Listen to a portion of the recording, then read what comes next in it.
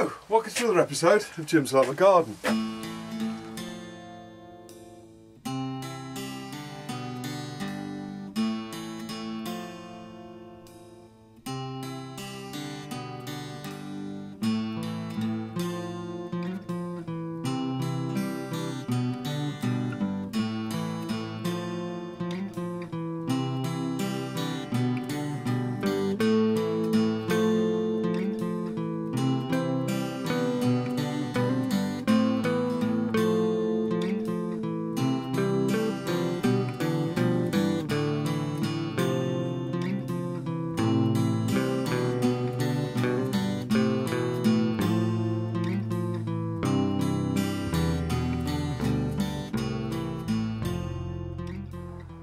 Okay, so it's always this time of year, uh, which is really good for going out to garden centres because you'll find loads of um, bargains and stuff like that. And one of the one of the biggest things to get at this time of the year is um, seeds, and seeds are will be available from all sorts of um, sort of garden centres and seed outlets.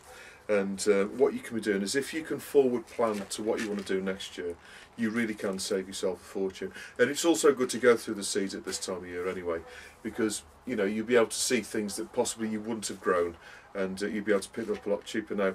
All of these seeds that I've got here, the six packets of seeds here, I just want to quickly show you. Um, I picked all of these up from the um, my local garden centre for 50p um, a packet and these are normally, well basically £3 a packet. You can pick them up for um, 50p a packet at this time of year and uh, you know the, the, the dates on them are still good, obviously these are these are some peppers that I got hold of, and these are, uh, for example, these seeds are good um, to be used right up until December 2019. So, you know, it being only 16 now, obviously 17, 2017 next year, these are uh, going to be at least two years in date when I use them. So there's no reason why um, you can't go and you know buy seeds now for next year. Save yourself a small fortune, obviously. Because if I've, you know, this is potentially three, six, nine, twelve 15, um, 18. So there's basically um, 18 pounds worth of seeds there and I've spent three. So I've saved myself 15 pounds just by buying these six packets. So what I've bought, uh, the first one, sweet peppers. Now these are from um, these are from Thompson and Morgan, um, and these are the variety colour for the summer salad. Um, summer salad mix it's called basically. So there are the seeds. Um, I've got to be honest with you, I don't normally grow peppers. I've grown peppers a few times in the past and I never, in all honesty, I never have fantastic results with peppers. But because I'm going to bring uh, my second greenhouse back in, back into service uh, next year, I'm going to have plenty of um, greenhouse space. So I thought, well, I might as well give it another go and um, see how the um, see how they fare next year. So what I'm going to be doing is growing some of these. I had looked at a couple of packets, but these these are the ones that seem to be sort of most suited to what you know why we um, or what we use peppers for. These are nice, sweet ones that can be either eaten raw or cooked. Most of which you, you know you can eat raw anyway. But um, that's the first one, um, and these are sweet pepper salad mix, um, and I'll be planting them um, sort of next uh, March, April time. And I'll, and I'll put a video out when I plant them anyway. But uh, that's one that I'll be growing next year. Um, so that's that's that's one of the sort of more unusual ones. Um, two other unusual ones. Um, this this one is again from Thompson and Morgan, um, and these are strawberries. I have never grown strawberries, normal strawberries. I've grown the alpine strawberries from seed before, as I explained a couple of weeks ago. But uh, these are a variety called um, um, Florian F1 hybrid. Now all of the all of the um, strawberry plants that I've got out here I've basically inherited and I've always grown them on from runners like I explained the other day. So what I do is I take take runners and then pot them up like that and then plant these again next year. That's what I've always done in the past. So what I'm going to be doing with these is um, sowing sowing these um, really early next year in January and hopefully I'll be able to grow these on the greenhouse plant them out into the uh, the strawberry plot when I've got it all sorted out. And um, I'll have a another variety of um, strawberries. So I've never grown from seed before so I'm going to give those a go. Again I mean these are actually four pound a packet. Um, again good till December 2019 so um, I've saved myself £3.50 just by buying these but um, so I'm going to be growing some um, strawberries from seed next year another unusual um, plant which I've I've not grown these before, and these are asparagus peas, um, and they're they're supposed to be quite a nice um, nice sort of gourmet vegetable to grow. So I thought I'd give these a go. Now these are basically you plant them in the in the uh, the spring. Uh, where does it say? So you sow out March March March to April, and then you harvest these from July to September. So I thought I'd give them a go. I've never grown these before, um, and um, they, they look a little bit unusual, but I'll see how they go. So that's asparagus peas. Again, three pound a packet. I've only paid fifty p. Um, right, and some of the more um, standard vegetables that I always grow. Um, this is the this is the curly kale that I always grow. Um, this is the, uh, this is called um, Reflex F1 hybrid, and with the with the curly kale, I always get this is again from Thompson and Morgan. Um, I always get an F1 variety because then you know what you're gonna basically what you know you, know you know what you're gonna get. The things with F1 hybrids, um, as I've explained before, I'll just very quickly go through it again. Um, with F1 hybrids, if you grow things that that, that, that you crop all in one go, like um, um, like like cauliflowers or like um, broccoli or you, you, know sort of plants like that where you where it's a one shot harvest. Um, if you are going to grow an F1 hybrid, grow some other types as well. So you know grow two or three different varieties. The reason being is F1 hybrids because they're all identical plants. They are likely to um, to all come to harvest at the same time. So you're going to get a glut of vegetables all in one go. Whereas if you grow a non F1 hybrid, um, you know you're going to get plants um, coming to um, harvest in, in in stages. Obviously, what you can do is is progressively plant. Um, so plant some um, seeds and then two three weeks later plant some more seeds and sort of progressively um, go through you know like two or three months like that. Um, and then and then you'll get like a staged harvest as well. But uh, most certainly if you are going to grow um, any vegetable if it's not um, if it's the type of vegetable where you harvest everything in one go uh, be careful growing F1s because everything's going to come together. Obviously if you grow in small volumes you don't need to worry about that. But where I grow sort of 20 30 40 50 of each plant uh, you know you can get all your crop coming together. The things with kale is you're constantly picking leaves off. So, you know, you haven't got to harvest this all in one go. So even though the plants will all be identical and, you know, I can I can pull the leaves off um, as I go along. And um, and I think as well with um, with um, with kale, um, you know, you're not, um, you know, there's there's a lot of different types of kale, but uh, the curly kale. To be honest with you, I I grow this one every year. This year it's quite tough, and it's because of the weather we've had. We've had quite a dry year, so uh, the leaves I found are quite tough. So rather than taking out the larger leaves around the outside, what I've actually started to do is take some of the younger leaves from the inner, uh, the inner part of the plant, not the head, just the you know the younger leaves.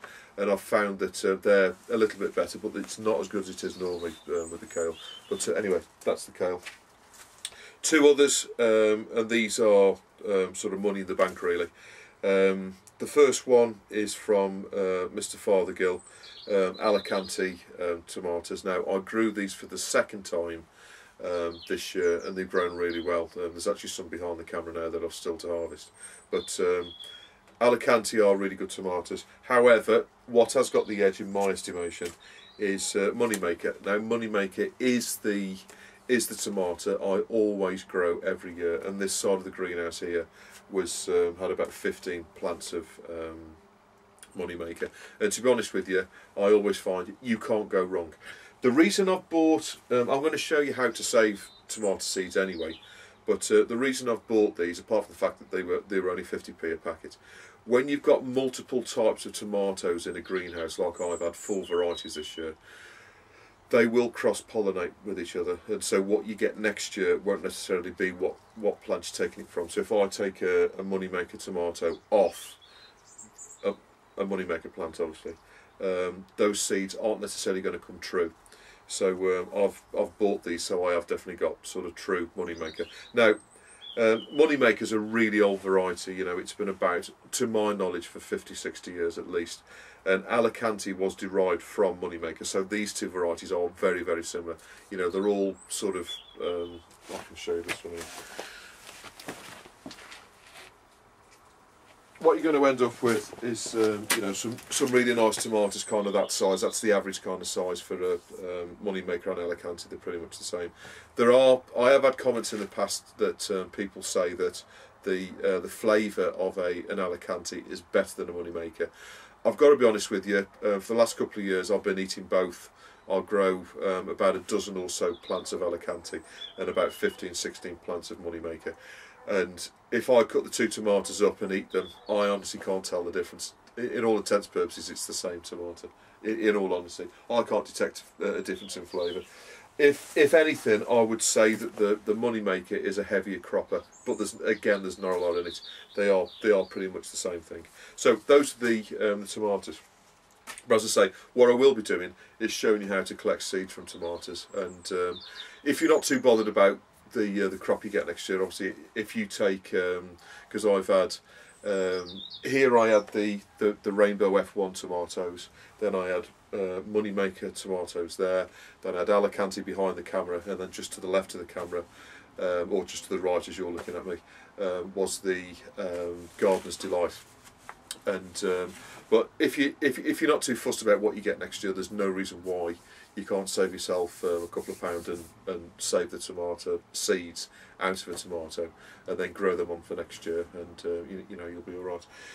One other thing I did buy yesterday, um, and this comes highly recommended, particularly if you're going to plant any shrubs long term.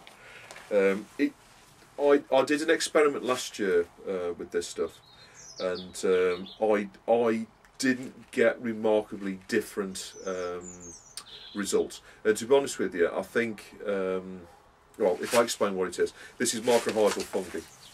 And when I, for example, when I planted the um, the grapevine, I used this um, three years ago, um, and that's on that's on the video if you look back. But um, mycorrhizal fungi is a is a naturally um, occurring fungus which is in the ground.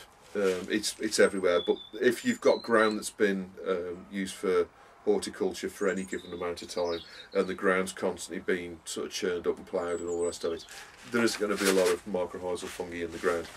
Um, it will be in hedgerows and, and sort of places like that, places that haven't been dug over too much. Now, the thing, the the good thing about mycorrhizal fungi is it's a it's a fungus which which which basically um, lives with a plant's root systems. It's it's it's within the ground and it's naturally occurring and um, basically what it does is it, it provides it takes nutrients from the ground um, and gives them to the plant in exchange the plant will give um, starch or um, uh, well, well, basically starch to sugars basically to the mycorrhizal fungi funguses cannot produce um, starch uh, or sugar basically which is what they need to survive so funguses will always grow on a plant or, or off something else. So they basically uh, they live together with another plant. Um, but the but there is a beneficial um, thing for your um, plants where what it will do is the mycorrhizal fungi will send out like just like roots but much thinner um, a network of um, roots under the ground and it will bring all of the nutrients from a considerably wider and deeper area to a, a, plant or a shrub or a tree or, or, whatever, feeding all of those good nutrients into the plant. Now, if you're going to plant um, uh, either a tree or a shrub, or uh, particularly things like roses and things like that, will always benefit um, from mycorrhizal fungi. And you're not going to disturb the ground, which is an important point. Um, it's it's well worthwhile you um, putting in mycorrhizal fungi in there, and what that will do is it will um, basically you dust the roots of the plant as you put it into the ground and then that mycorrhizal fungi will then go onto the root and then it'll spread out and it'll feed um, it'll feed the plant with all the goodness from the ground. Now if you imagine, you, you know, we've all seen sort of cross-sectional um, diagrams of a tree where you've got basically the same underground as, as you have on the top of the ground. But you imagine what you got underground, the root system, you imagine that going out four or five times more than it would do normally, and that's basically what mycorrhizal fungi will do.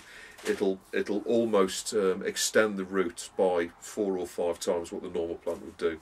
So as you can imagine, you can get that much more goodness into the plant, and uh, the starch or the sugar that the plant gives back to the fungus is nothing in comparison to what the fungus brings to the plant. So the good news is that was a pound from the, the garden centre, and our garden centre was selling these off. They had, they had, they had quite a lot of it. It's it's something that can be stored for you know quite a while. You know, you, can once opened, you need to keep it in the fridge. But um, whilst it's it's it's kind of freeze dried in there, and uh, that'll that'll that'll be good for a few years. Um, so that'll that'll stay live in there. And obviously, when I need it next year, I can put it out. Um, you're not to put this on brassicas. Um, that's uh, that's that's one stipulation with with um, vegetables. You can put this on pretty much everything. It works best with um, it works best with uh, plants that's not going to be moved uh, because it takes a it takes a while for it to establish itself in the ground. And if you're going to be digging the ground, you're basically destroying all of the you know you you, you know you're chopping it all up. So things like um, if you're going to put a um, things like herbs that are going to be in in, in a in a piece of ground for any, any given time, strawberries, um, uh, rhubarb or asparagus, plants like that that are going to stay in a given position for a long amount of time. Um, it's well worthwhile you putting these in, um, and anything like fruit bushes, trees, fruit trees, you know, your, your raspberries, your your gooseberries and stuff like that. Um, it's well worthwhile you putting some of this in the ground.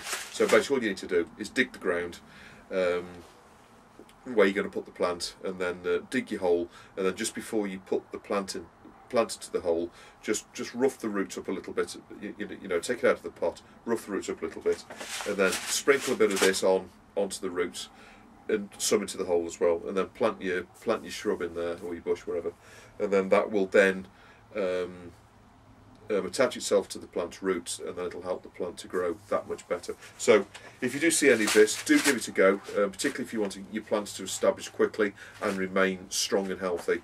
Mycorrhizal fungi um, gets the gets a thumbs up from me. So uh, all of these things, you, you, know, you can be looking out at garden centres. That's really the main message. So look out, you know, there's all sorts of tools and um, you know all, all, all, sorts of fleeces and um, fertilizers, composts seeds and you know mycorrhizal fungi and all that kind of stuff, which is um, on offer now um, at garden centres because they're trying to clear it all out so they can bring the Christmas stuff in. Um, you know, it's well worthwhile you um, going to going along to your garden centre and seeing what uh, bargains and um, things you can pick up this time of year.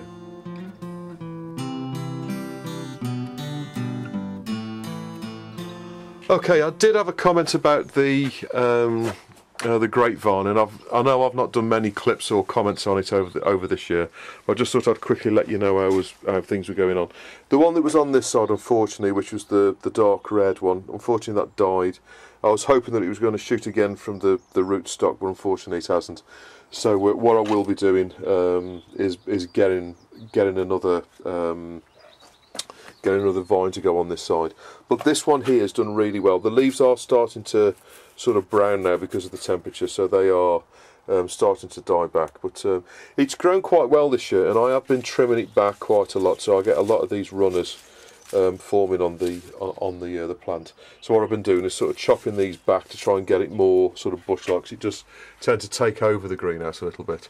Um, but as you can see, all of these all of these leaves are now starting to sort of go brown, and obviously you know we you know we're sort of getting into sort of autumn time.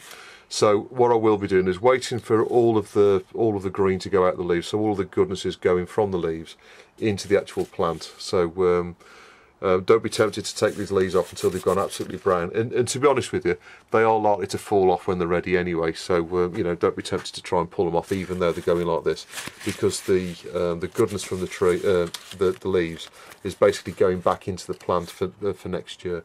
So, um, but anyway. Um, so it has grown really well. I've now got these two main runners. As you can see, there's one there and one there. And that goes all the way to the end. Um, I've even got some tomatoes up here.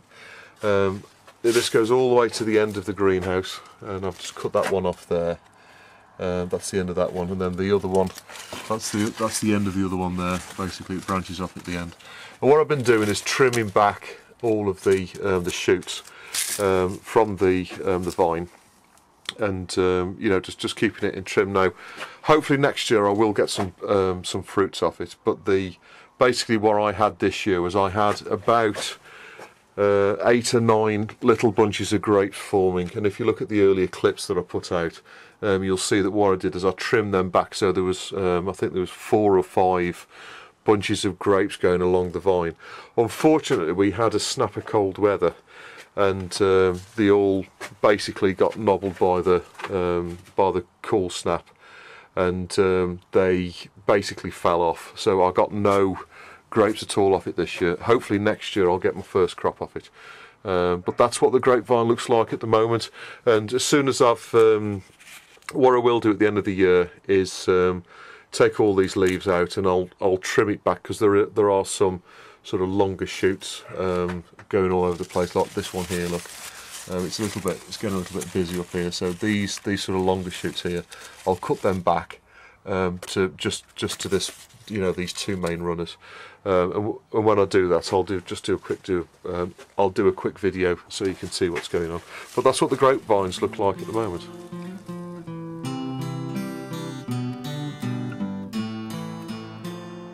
Okay, I've not done a, um, an allotment tour um, for, five or six weeks now, so I just thought I'd quickly take you around. Uh, the comfrey, as you can see, um, I've tied that up, but it's still still sort of growing. But what I've been doing is chopping bits off that and putting it in this bin here for next year. Um, you have seen clips of the um, birdhouse gourd, but as you can see, the um, the vines are now really dying back these two. So what I will be doing is cropping the uh, the birdhouse gourds off and put, take them inside to dry. But they they've grown really well this year.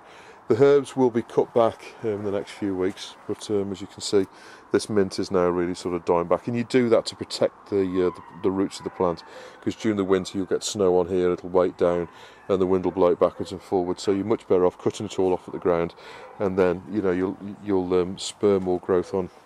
Um, um, next spring. Now the, the sage in exactly the same way, I'll cut that down so it's about a foot tall just to give the plant a little bit more structure and um, so the wind doesn't blow it about as well but that's what the sage looks like. Um, as you can see this mint here that I cut down a couple of weeks ago is, is already starting to send up new little shoots here as you can see that's the stuff that got cut down. The um, oregano for some reason all the little green shoots on there died off I'm not quite sure why um, there are still shoots on it, so I'm, I'm sure the plant's still alive. But um, the oregano that I didn't cut down has done pretty much the same, so I'm, I'm sure that it's not the, the fact that I've cut it down, it's gone like that. But uh, that's what the herb border looks like. The the oca, as you can see, looks very much like it did the other day. If anything, it's grown a little bit more. But um, I'm hoping for some uh, nice little oca tubers off there to eat over Christmas. Um, here the asparagus, the the uh, the comfreys went wild a bit here to be honest with you. So what I need to do is build some kind of structure here to hold it back next year. Um, I think I'll put some of the um, the uh, the netting off the Heras fencing along there just to try and keep it keep it out the way of the asparagus. But uh, the asparagus is still growing. Um, what I will do is um, cut that all back um, in the next few weeks as well because the wind's going to start blowing that about. Um, they're the chives that we moved at the beginning of the year, and uh, they're still they're still going all right. Uh, you saw the raspberries last time, and they're still growing quite nicely. We're still getting still getting uh, some good fruits on there, uh, which we're picking. Um, right along the fruit trees, um, and uh, obviously you've seen the um, birdhouse gourds along here. Uh, the fruit trees are growing really well this year, and the bushes and that. Um, they'll need to be um, again tidied up a little bit towards the end of the year and um, I'm about to pick the apples off that tree at the end there. But um, but yeah, the the fruit trees are establishing themselves in there and doing all right. The potatoes I've dug out pretty much all of these now, and uh, I'm just digging them up as I've uh, needed them. But um, I am starting to find that I'm getting quite a bit of slug damage in them now, so um, I need to find the time and dig the rest of these out. But uh, as I say, you know, um, the the potatoes I've done pretty well this year. Um, I've picked all the beans off there um, for seed for next year, and um, this is the um, um, the colour. I've actually weeded um, that end there, but I need to get along here. But I'm hoping these are like the little potato, little potato type plants that I'll be I'll be showing you in a few weeks' time when I dig those up. Um, right, just moving around here. Sweet peas, I've taken some seed off already, but I do need to get some more. But as you can see, they are naturally dropping the seed now, so I need to get in there. Now, this is the this is the Patronge kale um, and the um, Scottish kale. So that's the Petrarch kale at the back there. These these big plants, and the this is probably um, probably it's about five and a half foot high now. Um, but you can see, you know, they are really good plants. Um, I can see I've got a bit of white fly on them, but um, nothing too. I'm, not too worried because we're going to have a. The weather's going to get colder soon, and that'll kill them off. But um, as you can see, this this black, this black here, that's um, basically coming off the coming off the white fly. But uh, you know, if I if I don't need to use spray, um, I um, I basically or, or, I can find a natural way of doing something, then um, I'll always you know opt to do that. But uh, as I say, these were these were sent through to me from Richard Sydenham, um, the seeds, and uh, they have grown really well. They most certainly like uh, the soil here. But um, so I'll be starting to crop this um, in the near future. this is the curly kale up at the front here um, and the uh, this is the Aztec broccoli which we get quite a lot of that's now run to seed as you can see there's seed everywhere really but uh, and then just down the back there I don't know if you can see but there is some more um, there is some more um, curly um, kale as well uh, which are basically the seeds I showed you in the previous clip but uh, but yeah so the this brassica cage this year has done me proud um, it's it's still in one piece and um, it's stopped any uh, butterflies getting in here. As you can see, there's no there's no butterfly damage on any of this. So uh, it's done its job. Um, there's some there's some white fly, but I'm not too concerned about that. So that's the first tunnel. Uh, right, moving into the bit further down. Um, mainly weeds now, to be honest with you. This is where the onions was.